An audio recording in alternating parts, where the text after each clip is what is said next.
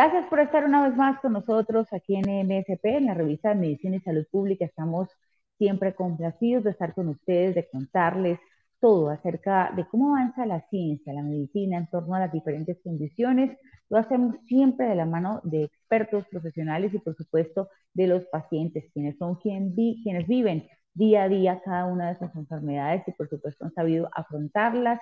Hemos tenido en este espacio muchos ejemplos de vida y hoy vamos a hablar de una condición justamente muy interesante porque más de dos millones y medio de personas se estima en todo el mundo han aprendido a vivir con esta condición, la esclerosis múltiple. Lo han hecho justamente a la fuerza tratando de supervivir en medio de este mundo que es tan acelerado. Vivir con esclerosis múltiple es posible, se puede trabajar haciendo también alguna otra adaptación de acuerdo a sus... Eh, a las condiciones médicas que así lo permitan. Cada caso es particular y vamos a hablar y adentrarnos un poco sobre esta condición, sobre cómo ha avanzado la medicina en torno a ella. Vamos a hablar también con una paciente y con una fundación que ha hecho un trabajo impecable en este tema. Y vamos a darle la bienvenida a los invitados que tenemos eh, el día de hoy. Sonia Flores, le damos la bienvenida a Sonia Flores, quien es paciente presidenta de la Junta de Esclerosis Múltiple de Puerto Rico, que nos va a contar un poco de su experiencia y pues hablar un poco ahorita con ella a más a profundidad. Bienvenida, Sonia. Saludos, buenas tardes y gracias por la invitación. A usted, muchas gracias por darnos la oportunidad de tener este espacio. Viviana Martínez también nos acompaña hoy, quien es coordinadora de estudios clínicos de esclerosis múltiple en Puerto Rico, una investigadora quien está con nosotros para darnos pues eh, su punto de vista y justamente todo su trabajo en torno a esta condición. Bienvenida, Viviana. Gracias por acompañarnos. Gracias a usted por invitarme. El doctor Chinea, médico neurólogo, también parte de la Fundación FEM. Bienvenido, doctor Chinea. Gracias. Es un verdadero gusto contar con su presencia aquí en esta conversación y pues todo su, su bagaje en torno a años estudiando el esclerosis múltiple. Bienvenido. Eh, muchas gracias. Muchas gracias. Muy bien, también nos acompaña Lourdes Hernández, quien es directora ejecutiva de FEM Puerto Rico, quien está también con nosotros. Bienvenida, Lourdes. Gracias por acompañarnos, por hablar un poco hoy acerca de cómo trabaja la Fundación, los retos que se vienen y, por supuesto, cómo hacen para trabajar con los pacientes de esclerosis múltiple, hacerlos como una gran familia, porque ese es el reto que tiene esta fundación. Bienvenida, Lourdes. Gracias, un, gusto, un placer ser parte de este conversatorio. Bueno, a todos bienvenidos, a ustedes también que se están conectando, les recuerdo, estamos en las redes sociales, en Facebook estamos en Revista Medicina y Salud Pública, en Instagram como Revista MSP, y también pueden revivir estos contenidos en nuestro canal de YouTube, que además de ser muy interesante, eh, pueden complementar todos eh, los artículos que encuentran en www.medicinasaludpublica.com, incluyendo este de la esclerosis múltiple. Vamos a comenzar entonces hablando con el doctor Chinea, quien es uno de los máximos exponentes, me permito dar una breboca justamente de quién es el doctor Chinea. Es uno de los máximos, máximos exponentes de la investigación científica de la esclerosis múltiple en Puerto Rico. Y doctor, me gustaría recapitular un poco eh, sobre esta enfermedad, cómo, cómo, tanto a nivel científico como clínico, cómo ha avanzado y cuál es el panorama de esta enfermedad. Sí, eh, gracias Martín. Eh, en cuanto a la esclerosis múltiple, este, hemos avanzado bastante en, logros tanto a nivel de diagnóstico, eh, pronóstico de la enfermedad y sobre todo este, en cuanto a su tratamiento. Es decir, que creo que hemos, estamos abarcando bastantes áreas que, no, que hemos podido eh, lograr que los pacientes este, tengan calidad de vida y sobre todo e, eviten lo que es la progresión de la, de la enfermedad y la incapacidad al final del camino. En cuanto a, la, a lo que se está logrando es la educación y estamos educando, somos educadores y tratamos con la educación eh, poder hacer este, que los médicos, los compañeros, los colegas, pues eh, formen parte, ¿verdad?, de, este proceso tan importante que es eh, saber eh, identificar un paciente temprano en la enfermedad. Y esto pues es lo que nos ha hecho, ¿verdad? Este, ser un poco eh, vanguardista y poder, y poder este, identificar estos pacientes temprano, como digo, antes de que la enfermedad pues haya hecho un poco más de estrago. Así que eh, tenemos muchas cosas nuevas que vamos a ir sacando a, medida que, que eh, estemos en el conversatorio. Y, y, este, doy gracias, aprovecho doy gracias que está Viviana Martínez y Viviana forma parte de, de, de, lo que es el desarrollo de la investigación. Estamos haciendo estudios que son estudios basados en fase 3 que todavía no han sido aprobados por la FDA. Así que esto, esto tenemos muchas cosas que, que finalmente pues va a, repercutir en, una mejor calidad de vida, como dije, en los pacientes de esclerosis múltiple. Muy bien. Bueno, doctor, usted lo mencionó ahorita también, pues darle la bienvenida a Viviana, agradecerle mucho que esté con nosotros y pues preguntarle cómo puede complementar quizás lo que nos acaba de contar el doctor sobre los avances que ha tenido la esclerosis múltiple em, y pues preguntarle con su trabajo de investigación que ha sido tan exhaustivo, pues cómo, cómo se complementa pues la ciencia, los avances que ha tenido pues el manejo de esta enfermedad no solamente en Puerto Rico, pues en América Latina, porque los estudios continúan, ¿no? Adelante, Viviana. Sí, pues como mencionó el doctor, ¿verdad? El fin es mejorar la calidad de vida del paciente.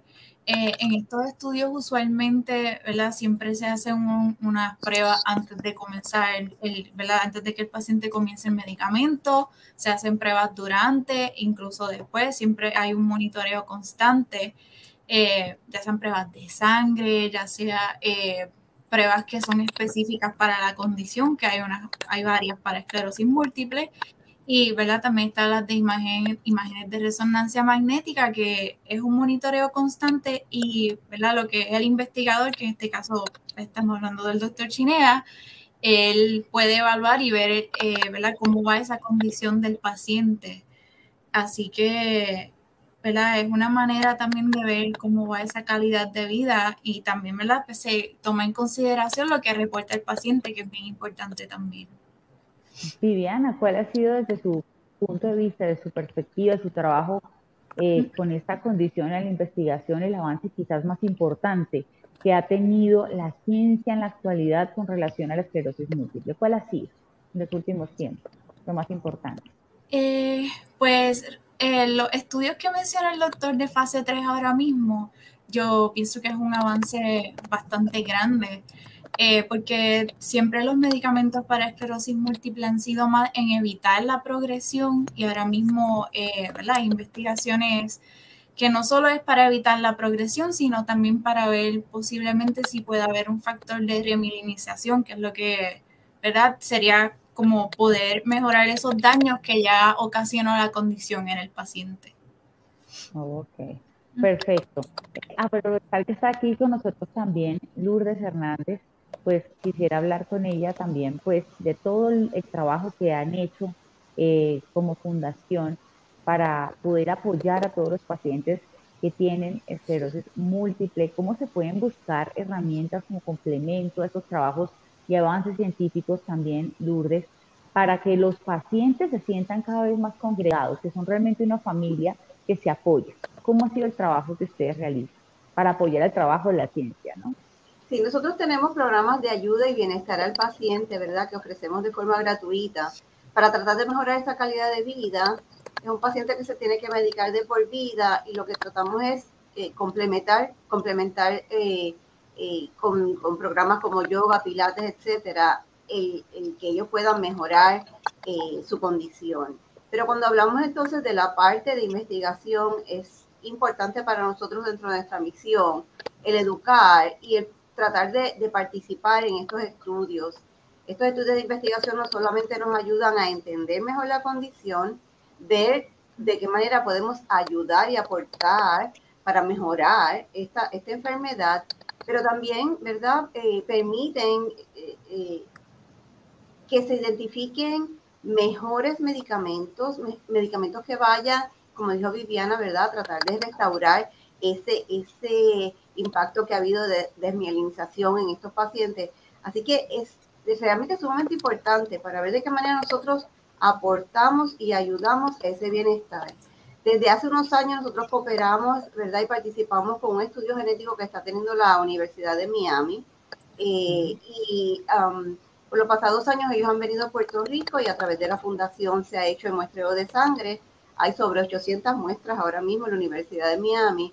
Así que todo lo que sea en pro y beneficio del paciente, en educación, en que podamos ayudar con equipos, pero igualmente podamos participar en investigación para poder tratar de entenderlos, entender la enfermedad y ayudarlos. La fundación tiene una participación muy activa en todo esto. Muy bien, qué interesante. Lourdes, antes de dejar, dejarte un momentico, quisiera preguntar cuántas personas se benefician de la fundación, más o menos cuántas participan. Sí, nosotros, nosotros tenemos actualmente en el registro cerca de unos 3.000 pacientes. Servimos a la fundación, servimos a estos pacientes en toda la isla y como mencionara anteriormente, tenemos los programas de ayuda donde ofrecemos equipo, donde ofrecemos ayuda con los deducibles médicos para los MRI o las resonancias magnéticas que tienen que hacer anualmente. Y entonces tenemos el programa de bienestar, que ahí entonces que entra el yoga, pilates, ejercicios a caballo, ejercicios acuáticos, para entonces este, complementar todo. Pero todo el que sea miembro de la fundación puede participar de estos programas. Nos acompaña hoy también Sonia Flores.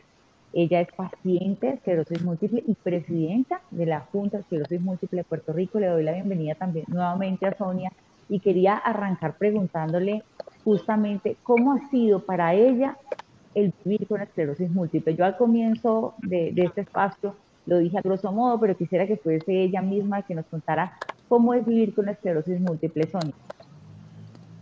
Eh, eh, gracias por la oportunidad, ¿verdad?, de, presentar a un paciente.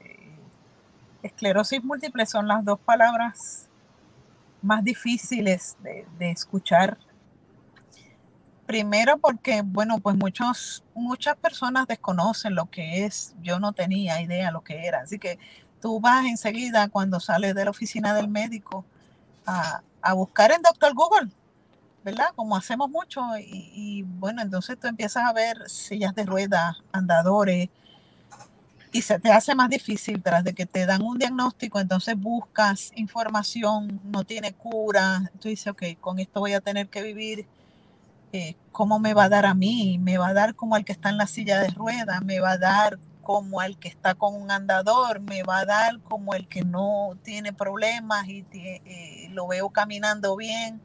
En realidad te metes dentro de una caja de sorpresas. Y, bueno, el tener a la, fundación ayuda a los pacientes a, manejar y a guiar dentro de, de todo ese proceso de estar recién diagnosticado. Para mí tiene sus días buenos y tiene sus días no tan buenos. Los buenos yo quiero pensar que son más.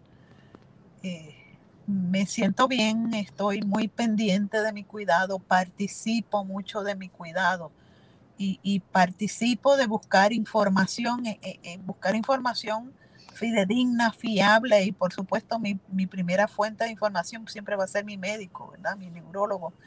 Eh, tengo que participar con él de este proceso, no puedo quedarme con el diagnóstico y nada más.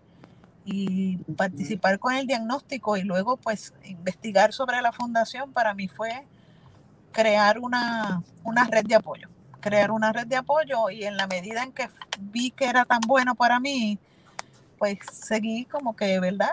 Participando cada vez más. Eh, la fundación sabe que siempre les he dicho para ustedes todo. Yo siempre voy a tener tiempo para la fundación, en lo que sea, en lo que ellos me necesiten. Claro que sí, está en la labor del paciente esa, tarea juiciosa, exhaustiva de investigar no solamente sobre la condición, como lo hizo, como bien lo dice Sonia, sino también apoyar a su médico en los tratamientos, de que realmente sean eh, minuciosos en cada uno de los medicamentos que hay que tomar, en, que sean precisos y cada digamos, cada caso, siempre lo hemos dicho, en cualquier condición es particular, ¿no? Cada persona vive una situación diferente y se necesitan tratamientos diferentes y es allí donde están los verdaderos retos de la medicina y la ciencia cada día más en torno a esta condición y otras más. Quisiera continuar con el doctor Chinea, que, que, aprovechar que lo tenemos aquí. Doctor, ahorita usted nos estaba dando algunas estadísticas, a, grosso modo, sobre estadísticas de la enfermedad, epidemiología, quizás cómo estamos en la isla de Puerto Rico comparado con otras partes de América Latina. Sí, sí, este, quiero, quiero hacer este eco de las palabras que dijo Sonia y, una de las cosas es que esta enfermedad es heterogénea. Quiere decir que va a afectar de, de, diferente manera a, diferentes personas. No dos personas van a tener exactamente la misma presentación o el mismo curso de la enfermedad. Y eso es bien importante porque es lo que ella dice, el paciente una vez se diagnostica, eh, empieza a morirse de miedo cuando visita todas estas páginas a Google, cuando ve los pacientes cuando están en la oficina, que están usando andadores, sillas de ruedas, etcétera. Y obviamente, pues eh, eh, ahora con el, el, diagnóstico temprano eso no está sucediendo. En cuanto a tu pregunta a nivel internacional, ya estamos en el mapa mundial ya nos identifican como una zona de, moderada a alta eh, eh, prevalencia de, esclerosis múltiple. Y esto, este, quizás lo, que más eh, yo, yo pienso es que nosotros tenemos un registro que es un registro que está apoyado por una ley gubernamental. Y al tener la ley gubernamental que todo paciente de esclerosis múltiple se tiene que registrar eh, la fundación en la que está a cargo de, registro junto al Departamento de Salud. Así hace que eh, nosotros podamos contar los pacientes y vemos una alta incidencia que hemos ido creciendo ¿verdad? En, el, número de, de prevalencia. Eh, empezamos en 30 y en los últimos números que se van a estar publicando en los próximos meses, Estamos hablando de 90 casos de cada 100 mil. Y cuando estratificamos en las mujeres y en las edades picos entre 35 a 44, vemos que puede llegar hasta 200 casos de cada 100 mil habitantes, es decir, que es un número de prevalencia alta. Y estamos viendo también que se están eh, eh, viendo que la incidencia también, aunque se mantiene bastante eh, continua, pero los números de casos semanal, nuevos casos, estamos hablando de dos a tres casos nuevos. Estamos hablando de, de quizás de 8 a 10 casos al mes. Y entonces pues, viene quizás lo que la pregunta es decir, ¿por qué? Y entonces quizás la contestación sea, estamos contando. Y estamos contando de manera estricta. Estos, estos pacientes están certificados por los neurólogos en Puerto Rico y eh, de esa manera se, se, asegura ¿verdad? que son números, esa, la calidad del, registro.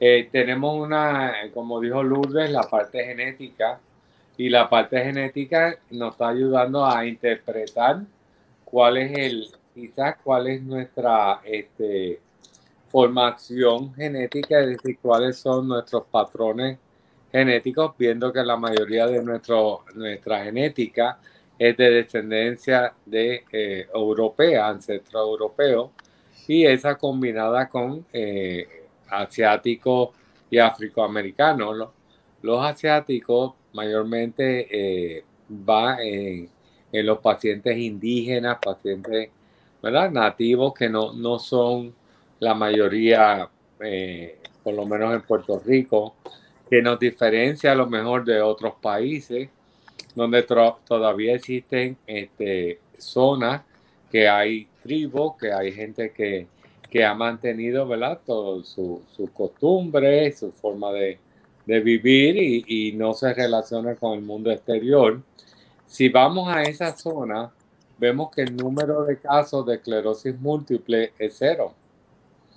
Una vez se eh, mezclan con eh, eh, zonas de alrededor, fuera de la población cerrada de ellos, entonces que empiezan a aparecer los casos de esclerosis múltiple, lo que nos habla de factores ambientales, así que hay factores ambientales que van a interactuar en la genética de ciertos pacientes.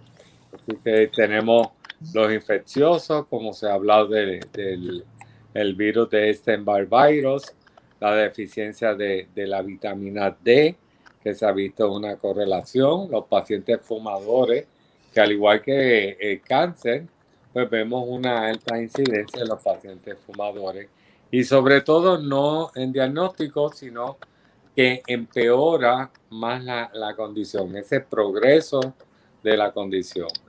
Así que estamos haciendo trabajo eh, en el grupo ¿verdad? de investigación, en el, en el centro de investigación de la clínica, pues tenemos a Viviana, tenemos a David, tenemos a Ramón, que ellos tres son los que mantienen esa, ese programa activo Actualmente se están corriendo cerca de 12 estudios clínicos y estamos mirando, ¿verdad? Todas las diferentes características que están ocurriendo en nuestra población. Así que es muy interesante y, y buscando siempre posibles marcadores de la enfermedad. Marcadores para el diagnóstico, marcadores de de cuál va a ser la, el pronóstico de este paciente y los marcadores de, de cómo es que la respuesta a los diferentes medicamentos. Bueno, quiero hacer ahí una acotación con lo que está diciendo el doctor Chinea, porque pues, el conjunto de la esclerosis múltiple requiere no solamente un esfuerzo importante de investigación que aclare no solamente el por qué se produce la enfermedad, sino también va encaminada al desarrollo de nuevas medidas que mejoren la calidad de vida de estos pacientes. Sabemos que a pesar de que hay fármacos modificadores de la enfermedad, todavía no hay ninguno que frene pues la evolución. Son fármacos útiles orientados pues a, digamos a paliar un poquito la sintomatología. Hablando un poco con Viviana también que está con nosotros y, y, ahorita el doctor, quiero darle la palabra a ella para que nos hable justamente sobre cuáles son esos retos que hay en, torno a la investigación para apoyar la mejora de la calidad de vida de los pacientes con esclerosis? Eh, bueno, en retos realmente, ¿verdad? Hay muchas veces que en, en cuanto a estudios clínicos, pues cuando se habla de un estudio clínico, hay pacientes que usualmente pues desean participar, pero también hay otros momentos en los que, ¿verdad? Pues es un poquito, siempre hay que orientar al paciente, eh, ¿verdad? Y explicarles cómo es esto. Pero realmente siempre intentamos comunicarles que van a estar en un monitoreo constante, ¿verdad? Que usualmente a veces es hasta un poquito más eh, profundo de lo que usualmente sería en la clínica.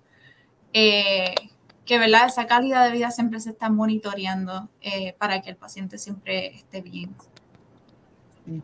Claro que sí. Viviana, aprovechando que está eh, la señora Lourdes, está Lourdes Hernández, me, permito leer también un poco la motivación que tienen ellos pues este año eh, con relación al tema, ¿qué te mueve, no? Tiene como propósito también conectar a toda esta comunidad de pacientes, cuidadores, profesionales, todos los que hacen parte del entorno de los pacientes con esclerosis múltiple y dice que está desafiando las barreras sociales que hacen que las personas con esclerosis múltiple no se sientan solas y aisladas, siempre son una gran familia. Lourdes, quiero enfatizar en este momento sobre la fundación, cómo trabajan, qué actividades desarrollan para apoyar a los pacientes, qué se viene este año, cómo van ustedes a, apoyar aún más a esa, a esa población. Sí, la Fundación tiene una serie de programas que realiza a través del año. Uno de los más importantes es nuestra caminata nuestro 3K, 5K. La caminata la realizamos también para crear conciencia, para educar, para que los pacientes sepan, ¿verdad?, que tienen un apoyo a nivel de, nosotros como institución. y que el gobierno en Puerto Rico, ¿verdad? Las diferentes entidades de Puerto Rico sepan que es una enfermedad que existe aquí, que tenemos muchos pacientes y que como indicó el doctor Chinea, la prevalencia, la incidencia va en aumento. Hemos visto también lamentablemente un aumento en los eh, casos pediátricos. Tenemos niños registrados con nosotros que tienen 5, 10, 12 años y, y se ha visto, ¿verdad?, un aumento en esta población. Otra de las actividades que tenemos, tenemos charlas educativas a través del año, tenemos grupos de apoyo y aprovecho, ¿verdad?, para, para dejar saber que Sonia es una de nuestras coordinadoras del grupo de, de, apoyo del área metro y tenemos grupos de apoyo a través de toda la isla, tenemos ocho de ellos, donde no solamente eh, proveemos un espacio para que los pacientes puedan compartir con sus pares sus experiencias de diagnóstico, de tratamiento, de cómo se han sentido, de cómo están manejando su enfermedad, sino que tenemos recursos externos que utilizamos para llevar talleres, eh, para ayudarlos nuevamente en, ¿verdad? en su vida particular, maneja, el manejo de la ansiedad, el manejo del estrés, de la depresión y este tipo de, situaciones. Así que yo creo que somos eh, una organización que no solamente, eh, ¿verdad? Nos dedicamos a ver qué necesidad física de salud podemos, ¿verdad? Atacar con lo que es los equipos, los equipos médicos como sillas, bastones, sillas de ruedas, andadores, sino que también proveemos esta otra gama de ver cómo los apoyamos en su parte emocional. Nosotros tenemos también un programa de eh, psicólogos, tenemos un una acuerdo colaborativo con la eh, Universidad de Medicina de Ponce y tenemos un programa de eh, ayuda psicológica para estos pacientes. Así que si somos abarcadores, lo que queremos es, y y, uso este, este foro que estoy hoy para que aquellos pacientes de esclerosis múltiple se acerquen a nosotros, nos llamen, utilicen nuestros servicios, parece que existimos, o si conoces algún pariente, alguna amistad, dile que, que nos contacten. Estamos aquí para ayudarlos, no solamente en la parte física de necesidad de equipo, sino en su parte también emocional y hasta donde podamos llegar, ¿verdad? Vamos a estar aquí apoyando a ese paciente a ese cuidador y a ese familiar. Excelente labor, Lourdes. Gracias, Por, por eso. Gracias por apoyar a tantas personas que, que lo necesitan, porque son muchos más los pacientes de esclerosis múltiple y que hoy sienten de verdad congregados, no se sienten solos, como es el pilar que, que, tiene, que tiene la fundación. A Sonia quería preguntarle justamente eso, ¿qué ha sido para ella formar parte de esta estructura de, que, que existe hoy para apoyar a los pacientes, no solo a nivel personal, sino también como grupo, ya que es presidente de junta, pues cómo ha sido para ella el estar parte de esto. Pues mira, es, es pertenecer a una gran familia, literalmente. Eh, más allá de lo que es tu familia cercana, ¿verdad? Eh, tu círculo que vive contigo, que te están apoyando, es saber que hay gente ahí afuera que, que lo que hace lo hace para ayudarte, que si tengo una situación eh, eh, y tengo que arreglar mi baño para prepararlo, para yo poder eh, bañarme con seguridad, para que mi cuidador se le haga más fácil las cosas conmigo, la fundación está ahí para mí. Que si lo que tengo es que he estado un poco deprimida, que he estado ansiosa, que, que no sé qué va a pasar conmigo, eso me impacta. La fundación tiene un mecanismo para conseguirte un psicólogo y tener esa ayuda que tenemos los grupos de apoyo. Los grupos de apoyo son nuestra familia chiquita, de ir a hablar, todos nos entendemos porque todos tenemos la condición. Llevamos a nuestros cuidadores a los grupos de apoyo y ellos se sienten bienvenidos y, se sienten en un espacio donde todos somos iguales, ¿verdad? Y, y, no te sientes solo porque a veces cuando tú tienes un diagnóstico como este te sientes solo. Eh, uno, tiene, uno se aísla en un principio y, y, bueno, pues estar aislado no, nosotros somos seres gregarios, ¿verdad? Y en la medida en que encontremos que tenemos esos recursos que están a la mano, que los tenemos cerca, te, te hace sentirte bien, te, te hace respirar con calma y decir, no, yo, yo tengo, alguien me va a ayudar. Y siempre va a haber alguien que te va a dar la mano, hoy para una cosa, mañana para otra cosa, pero siempre estamos ahí para darte la mano, para que ningún paciente se sienta solo o que no tiene a dónde recurrir con una duda, con una pregunta o con una ayuda que necesita. Siempre vamos a buscar la forma de ayudarte. Nunca van a estar solos nuestros pacientes, incluida esta paciente, porque, ¿verdad? Eh, a mí me encanta estar en la fundación. es mi familia extendida.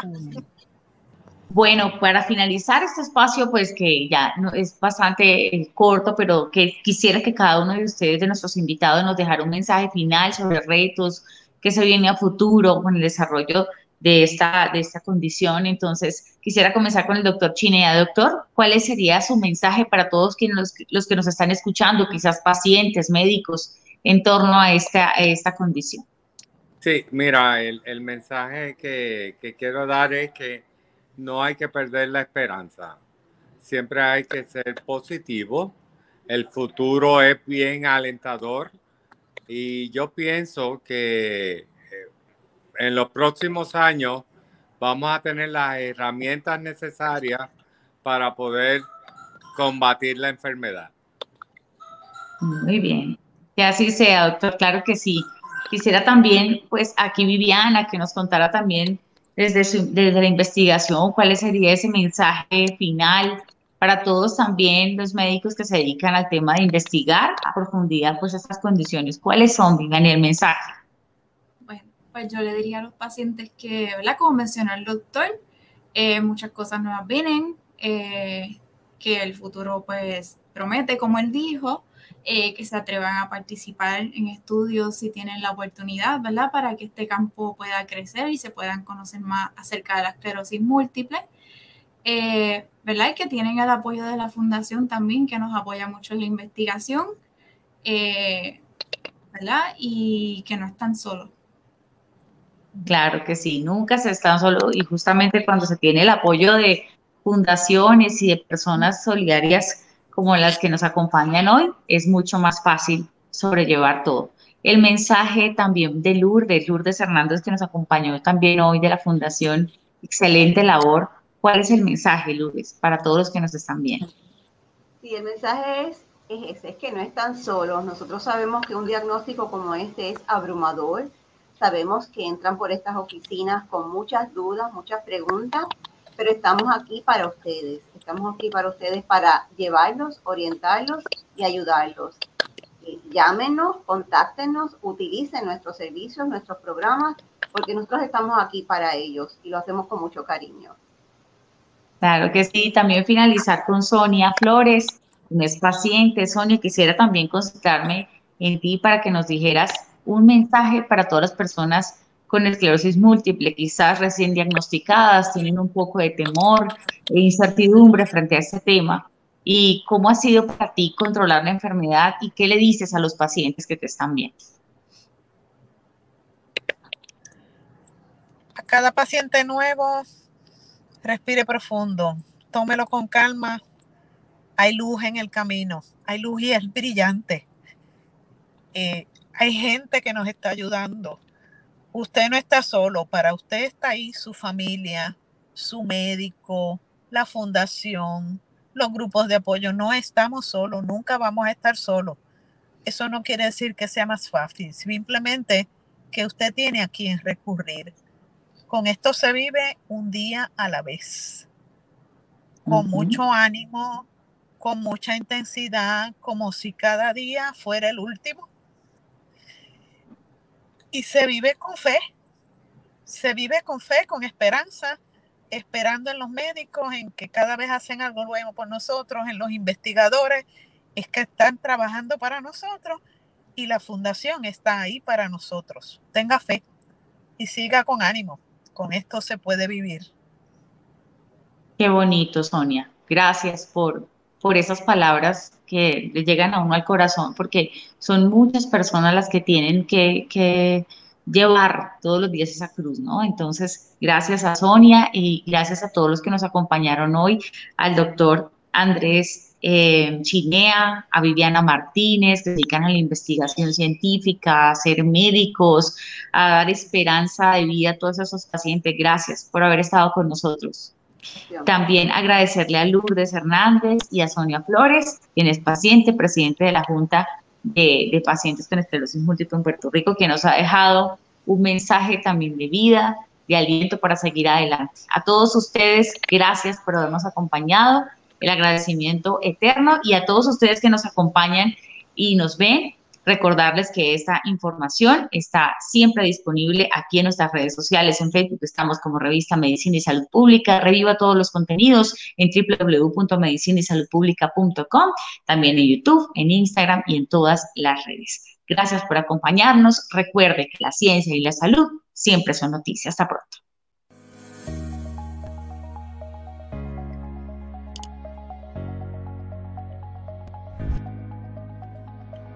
Conéctate con lo más relevante para médicos, pacientes y profesionales de la salud en www.medicinaysaludpublica.com.